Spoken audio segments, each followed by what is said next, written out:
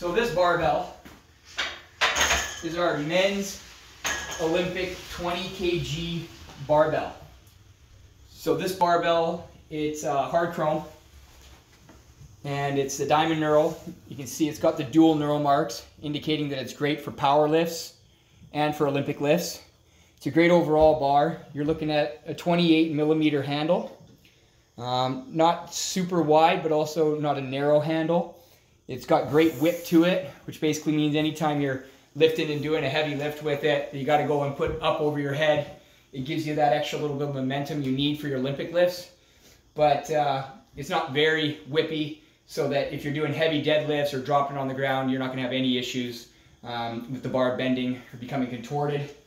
Uh, if you come into the side here, so this is the rubber ring version on the barbell, and it's got the extended plate holders here.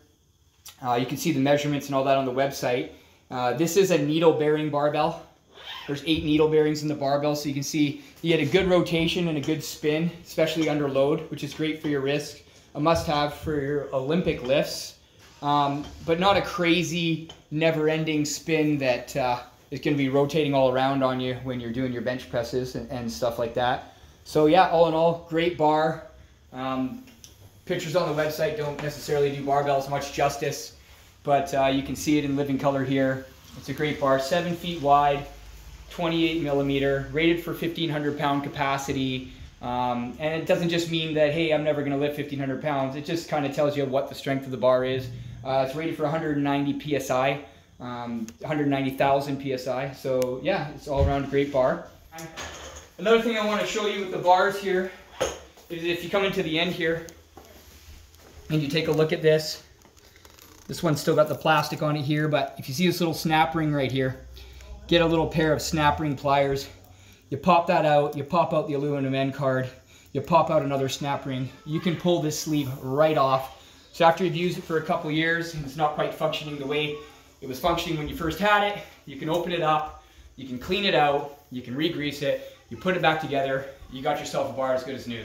And that's the point of getting a good expensive bar um, it's not just a matter of getting a bar that has all the bells and whistles. It's about getting a bar that's going to last you a long time, a bar that you can maintenance, and a bar that's not going to break when it's in your hands and you're deadlifting a few hundred pounds, because nobody wants to see that. So, um, arguably, I think the bar's the uh, most essential piece of equipment for a lifter because of the repercussions of what happens when a bar breaks when it's in your hands, or you know what's it going to do to your wrists when it's not rotating properly. It's just it's an essential thing to have. This bar is actually, you got amazing specs for the price that it's selling for. We got lots in stock. We got other bars coming. Uh, they'll have videos on them as soon as well. Um, so yeah, all in all, great bar.